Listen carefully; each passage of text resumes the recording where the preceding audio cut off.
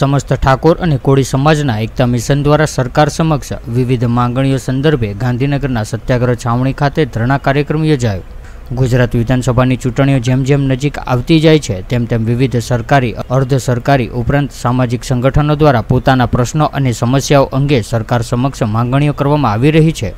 જે અંતર્ગત આજે ઠાકોર અને કોળી સમાજના એકતા મિશન દ્વારા વસ્તીના ધોરણે અનામત ઠાકોર કોળી સમાજના વિકાસ નિગમને સમાજના ઉત્થાન માટે રૂપિયા પંદરસો કરોડનું આર્થિક પેકેજ જાતિ આધારિત વસ્તી ગણતરી ઉપરાંત ઠાકોર અને કોળી સમાજના વિદ્યાર્થીઓ માટે શૈક્ષણિક સંસ્થાઓ તૈયાર કરવા જેવી વિવિધ પ્રકારની માંગણીઓ સાથે ગાંધીનગર સત્યાગ્રહ છાવણી ખાતે ધરણા પ્રદર્શન યોજવામાં આવ્યું હતું, જેમાં ઠાકોર અને કોળી સમાજના એકતા મિશન કોર કમિટીના અજમલજી ઠાકોર, વિસનગર, દીપસિંહ ઠાકોર, અમદાવાદ, જ્યોતિબેન રાઠોડ કિશોદ પથુજી ઠાકોર વડનગર રણછોડભાઈ ઉધરેજા રાજકોટ પ્રવીણસિંહ રાઠોડ ગાંધીનગર ઉપરાંત ગુજરાત રાજ્યના તમામ જિલ્લાના ઠાકોર કોળી સમાજના આગેવાનો ઉપસ્થિત રહ્યા હતા.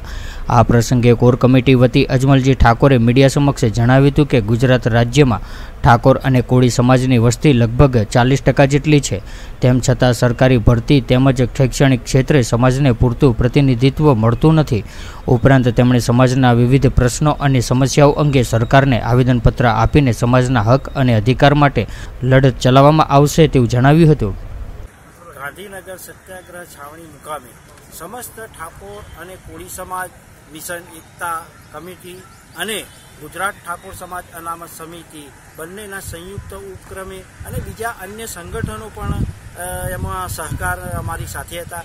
એ સંગઠનો દ્વારા આજે અમે સમાજના હક અને અધિકાર માટે જે અમારી પાછલા લગભગ આઠ દસ વર્ષથી એક માગણી અમારી માગણીની લડત ચાલે છે કે ભાઈ ઠાકોર અને કોળી સમાજની ગુજરાતમાં જો ચાલીસ ટકા વસ્તી હોય અને જે તે ક્ષેત્રો હાલ સરકારના હોય પ્રાઇવેટ હોય કે જે તે ક્ષેત્રોમાં, અમારી સંખ્યા બિલકુલ એમાં નથી. એટલે જેને કહેવાય ને, તો અમારી જે લડાઈ છે એ જનસંખ્યા પ્રમાણે અમને પ્રતિનિધિત્વ મળવું જોઈએ.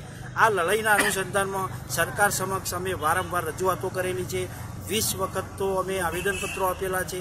એટલે અમારી જે મુખ્ય માગણીઓ છે ચાર, એમાં પહેલી અમારી માગણી એ છે કે અમારી વસ્તીના ધોરણે અમને અલગ અનામત મળવી જોઈએ અથવા તો વીસ ટકા અલગ અનામત મળવી જોઈએ.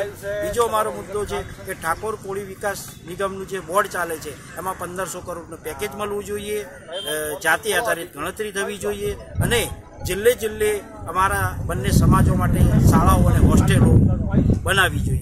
આ ચાર મુદ્દાઓ લઈને અમે આજે ગાંધીનગર સત્યાગ્રહ છાવણી મુકામે અમારા સમાજના હક અધિકાર માટે આવનારી ભાવિ પેઢી, આવનારી અમારા યુવાનોનો ભવિષ્ય માટે અમે આ ધરણા પર બેઠા છીએ અને અમે સર્વે કમિટીના સભ્યો, આગેવાનો, આજુબાજુના સામાજિક આગેવાનો, રાજકીય આગેવાનો પણ અહીં અમારી મુલાકાત કરવા આવેલા છે. व्हाट्सएप ट्विटर फेसबुक इंस्टा जहाँ भी आपका अकाउंट है इसे शेयर बटन के द्वारा वहाँ पर शेयर करें